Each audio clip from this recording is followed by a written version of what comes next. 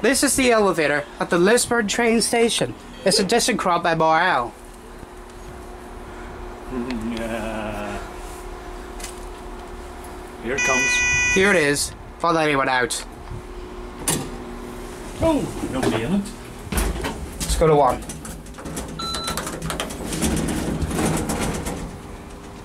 Stop.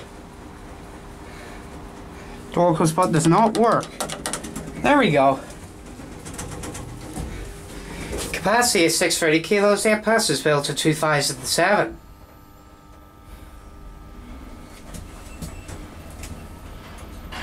Here we are at one. One item went out. Let's go down to lift number two. There's a CAF 4000 which is number 4001 right here. There goes the train leaving. This is lift number two. Let's ride it.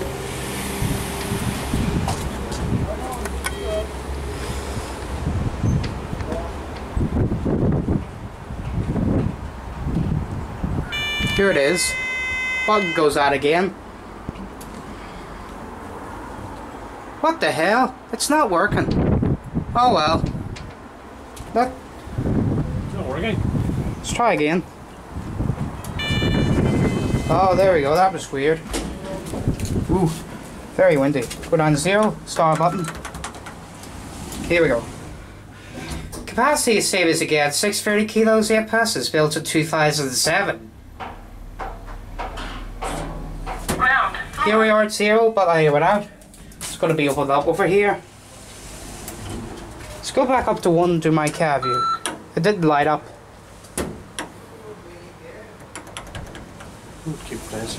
It's pretty basic ThyssenKrupp MRL. It's got two flow indicators, focus cabin, and the capacity is 630 kilos eight passes. It's built in 2007. Here we are at one. Well, I went out again. Let's go down to lift number one to my cab view.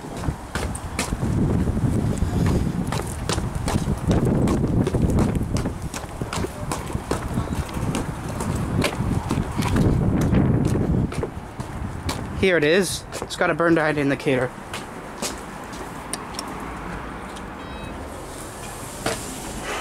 Put on the CO.